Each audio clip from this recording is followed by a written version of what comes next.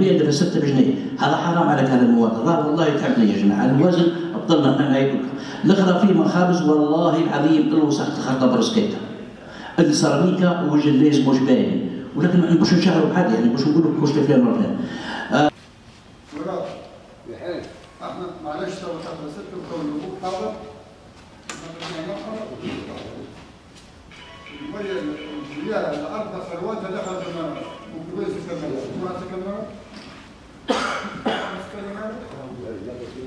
أربع سنوات يشكو من الصدر أقل.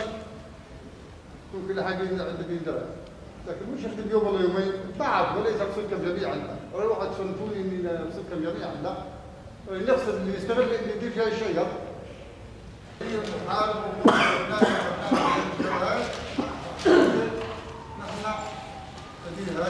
هذا متجانسين. في بعض المخابز.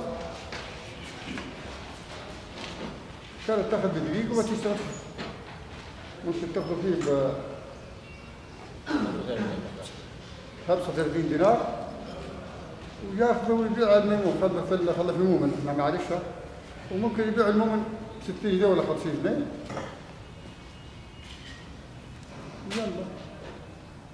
الدقيق تاخذه في حوالي 100 قطار وفي اللي ياخذ 125 قطار وفي اللي حسب توزيع مراقبه الاقتصاد تم تشكيل لجان لأن الحرس البلدي واحد واحد تشكيل لجان من الحرس من الامن من الشرطه العسكريه من القوات المسلحه تحت امره مدير الحرس ومدير المنطقة مروان يونس الناطق الرسمي باسم بلدية طبرق.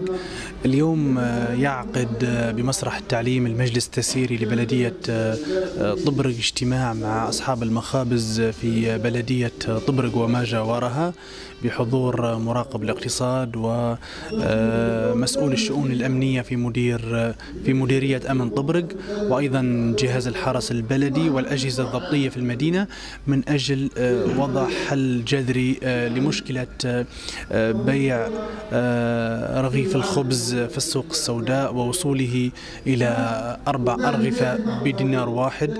يعني كل هذه الأمور ساهمت في ارتفاع سعر رغيف الخبز في هذه المدينة.